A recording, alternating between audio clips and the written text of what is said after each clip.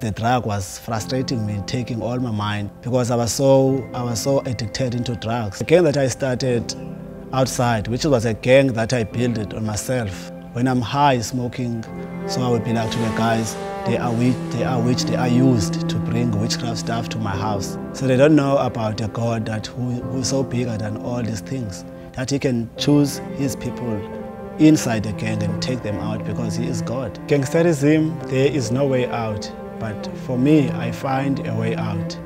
Jesus broke all the chains that were holding me. Since I came out of prison, then I started joining the Message Trust. Then I went for the training of the barista. Then I came back, started working at the Message, the Mess Cafe. Because of my background, since people know me, I was once in drugs, in crime, gangsterism. So when people saw me, they didn't believe that I was still alive.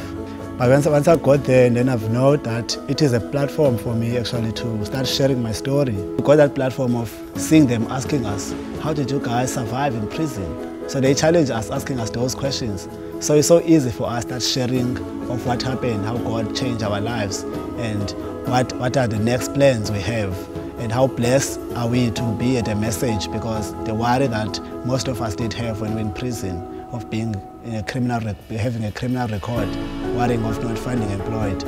My way out was more about turning, getting to hear the voice of God and getting closer to Him. So we no longer live in the past of gang. Now our future, which is stars. I used to save time, but now I'm saving coffee.